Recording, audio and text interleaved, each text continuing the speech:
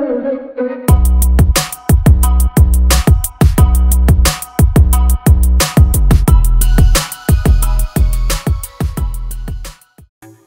ဝမချန် channel လေးကိုကြည့်ကြအားပေးကြတဲ့ညီကိုများအားလုံးပဲမင်္ဂလာပါဒီနေ့တော့ August လ22ရက်နေ့ရဲ့နေကင်းပိုင်းရထားတဲ့သတင်းလေးတွေကိုတင်ဆက်ပေးတော့မှာပါ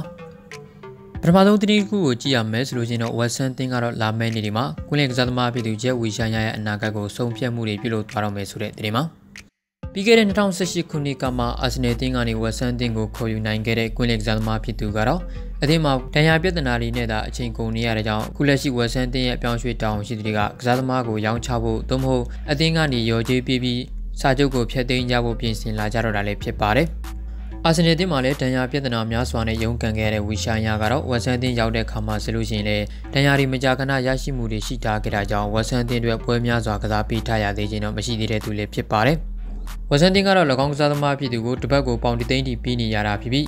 တတိုင်းသတင်းစာရဲ့ဖော်ပြချက်ရတော့ဝဆန်တင်ကလာမယ့်နေ့မှာကစားသမားအသစ်တွေကိုခေါ်ယူအားဖြည့်ခြင်းကြောင့်လာစာမြောင်များစွာပြီးချီနေရတဲ့ကလစ်ကစားသမားဖြစ်သူဂျက်ဝီရှန်ရကိုတော့လာမယ့်နေ့မှာခေါ်ယူခြင်းနဲ့အသင်းရှိပါကဈေးလျှော့ရောင်းချသွားဖို့ပြင်ဆင်နေတာဖြစ်တဲ့ပြင်အကယ်၍ခေါ်ယူဖို့အတွက်ကန့်လန့်လာတဲ့အသင်းတွေမရှိဘူးဆိုပါက၎င်းကစားသမားရဲ့စာချုပ်ကိုဖျက်သိမ်းခြင်းပြီးပြီးတော့အသင်းကနေဆွန့်ခွာစီဖို့ပြင်ဆင်ထားတာလည်းဖြစ်ပါတယ်။ ပြီးခဲ့တဲ့2018ခုနှစ်ကဝက်ဆန်တင်ကိုအာဆင်နယ်တင်ကနေပြောင်းရွှေ့လာပြီးကြတဲ့ကဝက်ဆန်တင်နဲ့ပွဲထွက်ခွင့်6ပွဲသာကစားပေးထားရသေးတဲ့၎င်းကွင်းလယ်ကစားသမားဖြစ်သူကိုတော့ကလပ်တင်ရဲ့ပြောင်းရွှေ့တောင်းရှိသူတွေနဲ့နီးပြဖြစ်သူဒေးဗစ်မွိုက်စ်ကိုတိုင်ကပါကလပ်တင်မှာထပ်မံထားရှိစေခြင်းတော့တာချင်းမရှိတော့တာကြောင့်ကစားသမားကိုတော့ရောင်းချဖို့သို့မဟုတ်အသင်းကနေထွက်ခွာစေဖို့ပြင်ဆင်ထားကြတာလည်းဖြစ်ပါတယ်နီးပြကြီးဖြစ်သူအာဆင်ဝင်းကားရဲ့လက်အောက်မှာအကောင်းဆုံးခြေသွဲနေပြသခဲ့ပြီးအာဆင်နယ်ရဲ့အကယ်ဒမီကနေထွက်ပေါ်လာခဲ့တဲ့ဒီလူငယ်ကွင်းလယ်ကစားသမားလေးဖြစ်သူကတော့ အာဆင်နယ်မှာတောက်ပခဲ့တဲ့အခြေအနေကိုများစွာရရှိနေစဉ်အတွင်းမှာပဲတန်ရာပြဿနာတွေကြောင့်၎င်းကစားသမားရဲ့ဘဝကတော့ချီသွန်းနေစရိုက်ထူးခြားခဲ့ရတာဖြစ်ပြီးအာဆင်နယ်အသင်းကတော့ကစားသမားကို2018ခုနှစ်မှာပဲရောင်းချခြင်းပြုခဲ့တာလည်းဖြစ်ပါတယ်ဝဆန်တင်မှာနီးပြကြီးပြည်သူမန်နျူယ်ပယ်လီဂရီနီကင်တွယ်စဉ်ကလေးက၎င်းကစားသမားကတော့ချီသွန်းပြသနိုင်ခဲ့ခြင်းမရှိပဲ တန်ရာပြဿနာတွေပဲနဲ့အချိန်ကုန်နေခဲ့ရတာဖြစ်ပြီးတပတ်ကိုပေါင်တသိန်းထိပေးချီနေခဲ့ရတာကြောင့်ဝဆန်တင်ရဲ့အပြောင်းရွှေ့တာဝန်ရှိသူတွေကတော့ကစားသမားကိုအသင်းမှာဆက်လက်မထားခြင်းတော့တာလည်းဖြစ်ပါတယ်။ဒါကြောင့်လာမယ့်နေ့ဒီမှာအကယ်၍များဒီကစားသမားကိုခေါ်ယူခြင်းနဲ့ကလပ်တင်းရှိပါကဈေးလျှော့ရောင်းချသွားမှာဖြစ်တဲ့ပြင်ကန့်လန့်လာတဲ့အသင်းမရှိဘူးဆိုပါကကစားသမားကိုတော့စာချုပ်ပါဖျက်သိမ်းခြင်းပေးပြီးတော့အသင်းကနေထွက်ခွာစီမှာလည်းဖြစ်ပါတယ်။ နောက်တဲ့သတင်းတစ်ခုကိုကြည့်ရမယ်ဆိုလို့ရှိရင်တော့ Chelsea တင်ကတော့ဘာစီလိုနာတင်ရဲ့အသက်18နှစ်အရွယ်နယ်သာလန်နောက်ခံကစားသမားလေးပြည်သူဇာဗီယာအမ်ဘူယန်ဘာကို3နှစ်စာချုပ်ချုပ်ဆိုနိုင်ခဲ့ပြီဆိုတဲ့သတင်းမှာဘာစီလိုနာအသင်းရဲ့လူငယ်အသင်းမှာတော့ UFV U League မှာလည်းဝင်ကစားခွင့်ရခြင်းမရှိတဲ့၎င်းကစားသမားလေးကတော့ကလပ်အသင်းပြောင်းဖို့ဆုံးဖြတ်ခဲ့တာဖြစ်ပြီးချက်ကြီးအသင်းရဲ့အပြောင်းရွှေ့တာဝန်ရှိသူတွေကတော့ဒီလူငယ်ကစားသမားလေးရဲ့ခြေစွမ်းကိုသဘောကျနှစ်သက်ခြင်းရှိတဲ့ကြောင့်၃နှစ်သက်တမ်းရှိတဲ့စာချုပ်တရက်ကိုချုပ်ဆိုနိုင်ခဲ့တာဖြစ်ကြောင်းပြောဆိုထားပါတယ်။ နီးပြပြည်သူဖရန်လမ်ဘတ်ကတော့လာမယ့်200တီတောအတွင်းမှာလည်းလူငယ်ကစားသမားအများစုနဲ့အသင်းကိုဖွဲ့စည်းကြည့်နေတာဖြစ်ပြီးအခုလက်ရှိလူငယ်ကစားသမားတွေဖြစ်တဲ့မေဆန်မောင်ရီစ်ဂျိန်နဲ့တမ်မီအေဗရာဟမ်တို့လိုကစားသမားတွေနဲ့တူဒီကစားသမားလေးကိုလည်းအသင်းမှာပူးပေါင်းစေချင်နေတာလည်းဖြစ်ပါတယ်။နယ်သာလန်နိုင်ငံလူယူဆက်ကိုလက်ရွေးစဉ်အသင်းရဲ့ကစားသမားလေးပြီးသူအမ်ဘူယန်ဘာကတော့ ပါစီလိုနာလူငယ်အသင်းမှာပုံမှန်ပွဲထွက်ခွင့်ရရှိခဲ့ခြင်းမရှိတာကြောင့်ချယ်ဆီအသင်းကိုပြောင်းရွှေ့နိုင်ခဲ့တဲ့ကစားသမားလေးတစ်ယောက်ဖြစ်ပြီးလာမယ့်နေ့ဒီမှာဆိုလို့ရှိရင်တော့ချယ်ဆီကလပ်အသင်းကြီးမှာတိုက်ရိုက်ကစားမှာမဟုတ်ပဲလူငယ်အသင်းမှာပဲတွားရောက်ကစားမှာဖြစ်ကြောင်းချယ်ဆီအသင်းရဲ့ပြောင်းရွှေ့တာဝန်ရှိသူတွေကပြောဆိုမှုတွေပြုလုပ်ထားပါတယ်။ဒါကြောင့်ချယ်ဆီတင်ကတော့ဘာစီလိုနာလူငယ်အကယ်ဒမီတင်မှာပုံမှန်ပွဲထွက်ခွင့်ရရှိခဲ့ခြင်းမရှိခဲ့ဘူးဆိုပေမဲ့တကယ်ကိုအားထားရလောက်မဲ့ကစားသမားလေးကို၃နှစ်တက်တန်းရှိတဲ့စာချုပ်တရက်နဲ့ခေါ်ဆိုနိုင်ခဲ့ပြီဖြစ်တာကြောင့် နီးပြပြည်သူဖရန်လမ်ဘတ်ကတော့နွေရာသီပြောင်းရွှေ့နေဒီမှာလူငယ်ကစားသမားတွေကိုပဲအဓိကဦးစားပေးခေါ်ယူမှုတွေပြုလုပ်နေတာလည်းဖြစ်ပါတယ်။နောက်ထပ်သတင်းတစ်ခုကိုကြည့်ရမယ်ဆိုလို့ရှိရင်တော့ဘာစီလိုနာအသင်းရဲ့နီးပြတီပြည်သူတို့နဲ့ကိုမန်ကတော့လာမယ့်နေ့ဒီမှာကလပ်တင်းရဲ့တိုက်စစ်ကိုအင်အားမြင့်တင်ခြင်းကြောင့်လိုင်ယွန်တင်းရဲ့ခုလက်ရှိတိုက်စစ်ကစားသမားဖြစ်သူမန်ဖစ်စတစ်ပိုင်းကိုခေါ်ယူဖို့အတွက်စုံစမ်းမှုတွေရှိလာတယ်ဆိုတဲ့သတင်းမှာ United အသင်းရဲ့တိုက်စစ်ကစားသမားဟောင်းတူဖြစ်တဲ့ Memphis Depay ကတော့လာမယ့်နေ့ဒီမှာလိုင်ယွန်တင်းကနေထွက်ခွာမှာမဟုတ်ကြောင်းသတင်းတွေပြောဆိုမှုတွေရှိထားခဲ့ပြီးမြဲလေ၎ င်းနဲ့အတူနယ်သာလန်နိုင်ငံအသင်းကြီးမှလက်တွဲခဲ့မှုတဲ့နီးပြပြည်သူတို့နဲ့ကိုမန်ကဘာစီလိုနာအသင်းစီကိုရအောင်ခေါ်ယူသွားမှာဖြစ်ကြောင်းသတင်းတွေပေါ်ထွက်ထားခဲ့တာကြောင့်ဒီပိုင်းကတော့လာမယ့်နေ့ဒီမှာ၎င်းရဲ့အနာဂတ်ကိုတီချာဆုံးဖြတ်သွားဖို့လိုနေတာလည်းဖြစ်ပါတယ်။အသက်26နှစ်အရွယ်ပဲရှိသေးတဲ့နယ်သာလန်နိုင်ငံတင်းရဲ့တောင်ပန်ကစားသမားပြည်သူမက်ဖစ်ဒီပိုင်းကတော့ပြီးခဲ့တဲ့ချန်ပီယံလိဂ်ပြိုင်ပွဲတွေမှာကောင်းမွန်တဲ့ခြေသွင်းတွေကိုပြသထားနိုင်ခဲ့တာဖြစ်တယ်လို့၎ င်းနဲ့ရင်းနှီးတဲ့ဆက်ဆံရေးတရရှိတဲ့နီးပြပြည်သူတို့နဲ့ကိုမန်ကလည်းပရနာတင်းရဲ့တရားဝင်နီးပြဖြစ်သွားခဲ့ပြီဖြစ်တဲ့ကြောင့်လာမယ့်နေ့ဒီမှာ၎င်းအတွက်ဘာစီလိုနာတင်းမှာကစားရဖို့တော့အခွင့်အရေးရှိနေတာလည်းဖြစ်ပါတယ်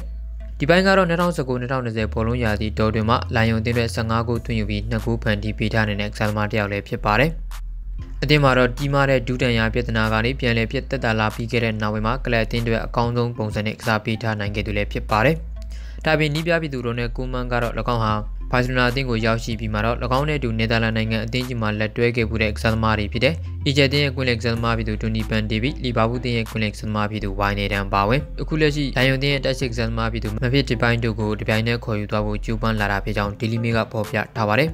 လိုင်ယိုတင်းကတော့၎င်းတို့ရဲ့ တိုက်စစ်ကစားသမားဖြစ်သူတဲ့ပေါင်49တန်းကြီးတက်မှတ်မှုတွေပြုလုပ်ထားခဲ့တာကြောင့်ဘာစီလိုနာတင်းရဲ့ပြောင်းရွှေ့တာဝန်ရှိသူတွေနဲ့ရိုနယ်ကူမန်တို့ကတော့၎င်းတင်းတို့ကိုလာမယ့်နေ့ဒီမှာပေးချေမှုတွေပြုလုပ်သွားမှာဖြစ်ပြီးကစားသမားကိုအရခေါ်ယူဖို့ကြိုးပမ်းသွားမှာဖြစ်ကြောင်းသတင်းတွေများစွာကဖော်ပြထားပါတယ်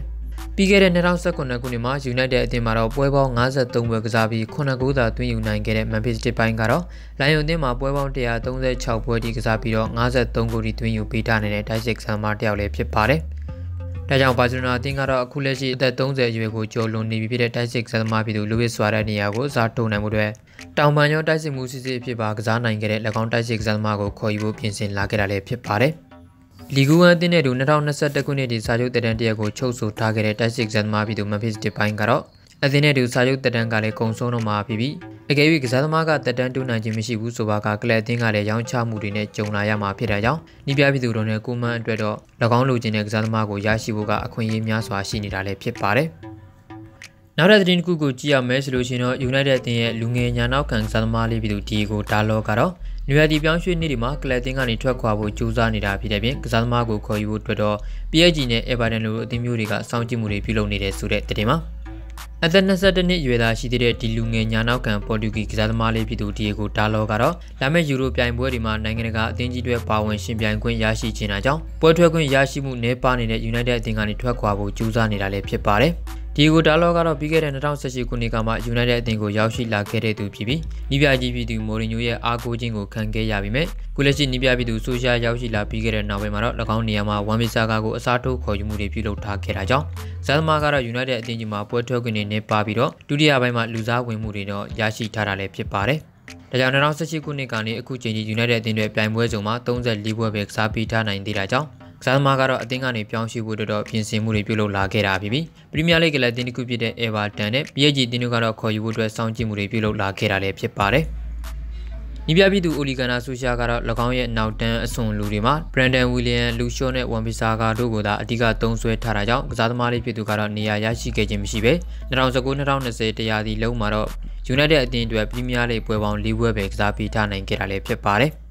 ဒါပြင်ခုလက်ရှိလူငယ်ကစားသမားလေးဖြစ်သူဖိုဆူမန်ဆာလည်းနောက်ဘက်မှာနေရာရရှိမှုတွေရှိလာခဲ့တာကြောင့်ဒီလူငယ်ကစားသမားလေးကတော့လာမယ့်နေ့ဒီမှာကလပ်အသင်းကနေပြောင်းရွှေ့ဖို့ကြိုးစားလာခဲ့တာလည်းဖြစ်ပါတယ်။ PSG တင်ကတော့၎င်းတို့ရဲ့နောက်ခံကစားသမားပြည်သူယွမ်ဘာနက်ရဲ့နေရာကိုအစားထိုးနိုင်မှုတွေဒီကိုတားလောက်ကိုခေါ်ယူဖို့ကြိုးပမ်းလာခဲ့တာဖြစ်ပြီးအကယ်၍ PSG တင်ကသာတရားဝင်ကန့်လန့်မှုတွေပြုလုပ်လာခဲ့မယ်ဆိုပါကကစားသမားကတော့အသင်းပြောင်းရှိဖို့တော့အခြေအနေများနေတာပဲဖြစ်ပါတယ်။ ဒါ့အပြင်အေဗာတန်တင်းကလည်းပြီးခဲ့တဲ့နေ့တွေက၎င်းတို့ရဲ့အသင်းကောင်းဆောင်ဖြစ်သူကိုမန်ရဲ့နေရာကိုအစားထိုးနိုင်မှုအတွက်ပြင်ဆင်နေတာဖြစ်ပြီးနောက်ပိုင်းပွဲစဉ်တွေမှာမှဘယ်နောက်ခံကစားသမားဖြစ်သူလူကက်စ်ဒီဂနီကလည်းတန်ရာရွေးသနာတွေနဲ့ကြုံတွေ့နေခဲ့ရတာကြောင့်ဒီကိုဒါလောက်ကိုခေါ်ယူဖို့စိတ်ဝင်စားလာခဲ့တာဖြစ်ပါတယ်။။ဒါကြောင့် United အသင်းကတော့၎င်းတို့ကလပ်အသင်းမှာပုံမှန်နေရာရရှိမှုမရှိဘဲဖြစ်နေတဲ့အသက်21နှစ်ရွယ်လူငယ်ညာနောက်ခံစားသမားလေးဖြစ်သူကိုလာဘက်နေ့ဒီမှာအမှန်တကယ်ပဲရောင်းချနိုင်မလားဆိုတာတော့စောင့်ကြည့်ကြရမှာလေးဖြစ်ပါတယ်။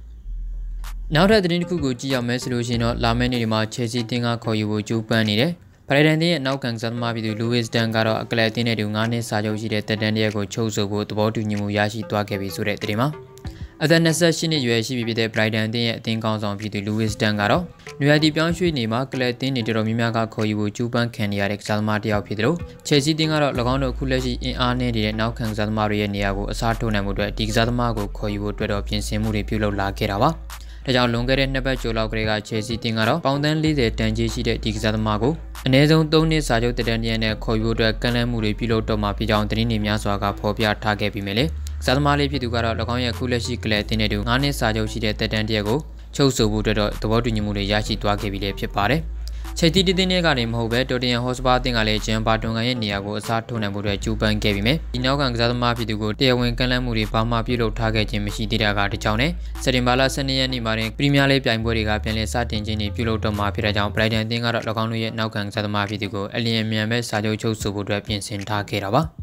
ဒါကြောင့်အသက်28နှစ်အရွယ်နောက်ခံကစားသမားပြည်သူလူဝစ်တန်ကတော့ Brighton အသင်းနဲ့တူ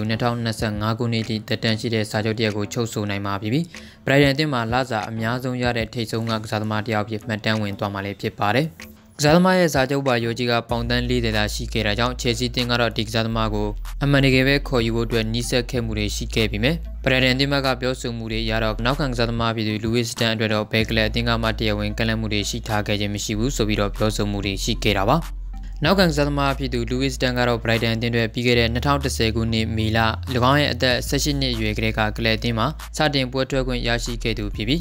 စားသမားဖြစ်သူကတော့အခုလက်ရှိကလပ်အသင်းနဲ့တူ9နှစ်စာချုပ်တည်တံ့ရှိတဲ့တည်တံ့တရက်ကိုချုပ်ဆိုနိုင်ခဲ့ပြီဖြစ်တာကြောင့်၎င်းရဲ့အသက်33နှစ်အရွယ်ဒီ Brighton အသင်းမှာဆက်လက်ရှိနေတော့မှလည်းဖြစ်ပါတယ်။နောက်ခံကစားသမားဖြစ်သူ Louis Tan ကတော့ Brighton အသင်းအတွက်ပွဲပေါင်း309ပွဲဒီကစားပေးထားပြီး19ဂိုးထိသွင်းယူပေးထားနေတဲ့နောက်ခံကစားသမားတစ်ယောက်လည်းဖြစ်ပါတယ်။ ဒါပြင်နောက်ခံကစားသမားပြည်သူလူဝစ်တန်ကတော့ပြီးခဲ့တဲ့2018ခုနှစ်နိုဝင်ဘာလက USA အသင်းနဲ့ကစားခဲ့တဲ့ပွဲစဉ်မှာအင်္ဂလန်လက်ရွေးစင်အသင်းကြီးတွေပါဝင်ရှင်ပြိုင်ခွင့်ရရှိခဲ့တာကြောင့်၎င်းကစားသမားကတော့1982ခုနှစ်နောက်ပိုင်းမှာအင်္ဂလန်လက်ရွေးစင်အသင်းကြီးတွေပထမဦးဆုံးပွဲထွက်ခွင့်ရရှိခဲ့တဲ့ Brighton အသင်းရဲ့ကစားသမားတယောက်လည်းဖြစ်လာခဲ့တာလည်းဖြစ်ပါတယ်။ ဒါကြောင့် Chelsea တင်းကတော့လာမယ့်နေ့ဒီမှာဒီကစားသမားကိုခေါ်ယူဖို့ကခက်ခဲသွားတာဖြစ်တယ်လို့ကလပ်တင်းနဲ့လည်း9နှစ်တက်တန်းရှိတဲ့စာချုပ်တရက်ကိုချုပ်ဆိုနိုင်တော့မှာဖြစ်တဲ့ကြောင့် Chelsea တင်းတော့နောက်ထပ်နောက်ခံကစားသမားတယောက်ကိုရှာဖွေဖို့အတွက်ကြုံလာခဲ့တာလည်းဖြစ်ပါတယ်။ဒါတွေကတော့ဩဂတ်စ်လ22ရက်နေ့ရဲ့နေကင်းမှရထားတဲ့အားကစားသတင်းလေးတွေကိုတင်ဆက်ပေးခဲ့တာပါ။ကြည့်ရှုအားပေးခဲ့တဲ့ညီကိုများအားလုံးကိုကျေးဇူးတင်ပါတယ်။